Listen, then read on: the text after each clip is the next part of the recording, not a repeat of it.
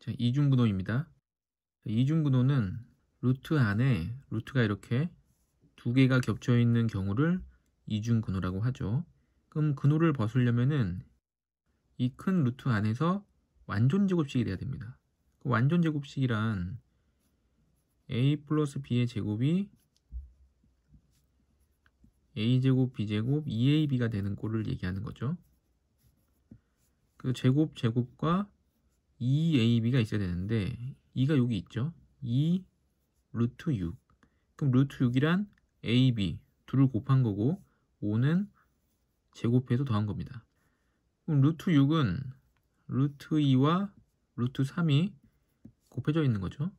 그 루트 2를 제곱하면 2가 되고 루트 3을 제곱하면 3이 되니까 더했을 때 5, 곱했을 때 6이 되도록 하는 이 두 숫자를 찾고 나면 5 더하기 2 루트 6은 루트 2 더하기 루트 3의 제곱과도 같겠죠. 제곱했을 때 2, 3 더하면 5, 2 루트 6 그래서 윗식은 이식과 같게 되고 이때 루트를 벗게 되기 때문에 루트 2 더하기 루트 3이 됩니다.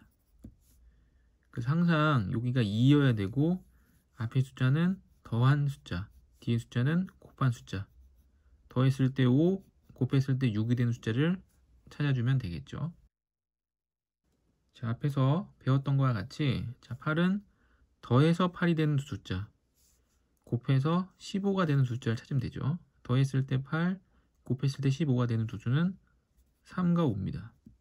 그래서 루트 3 더하기 루트 5의 제곱이 되겠죠.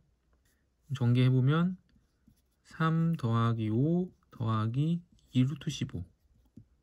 이 숫자 8 더하기 2루트 15와 8 더하기 2루트 15가 똑같죠. 그래서 이 가로 안, 루트 안이 이 식으로 바뀌게 되고 루트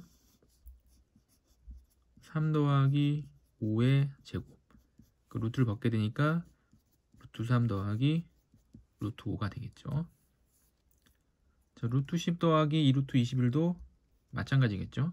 더했을 때 10이 되는 숫자, 곱했을 때 20이 되는 숫자, 곱했을 때 21이 되는 숫자 3과 7이겠죠. 3과 7 그래서 10 더하기 2 루트 21이라는 거는 루트 3 더하기 루트 7의 제곱이었겠죠.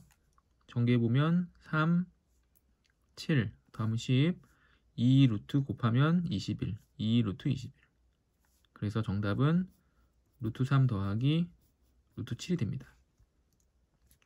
근데 이 가운데가 마이너스인 경우도 있겠죠. 가운데가 마이너스다. 그럼 루트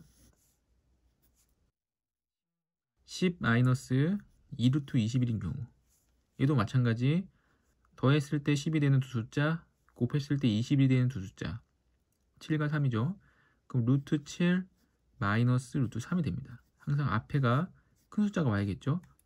그럼 전개해보면 7 더하기 3 마이너스 2 루트 21 10 마이너스 2 루트 21 위랑 같죠. 근데 항상 앞에가 큰 게 와야 됩니다.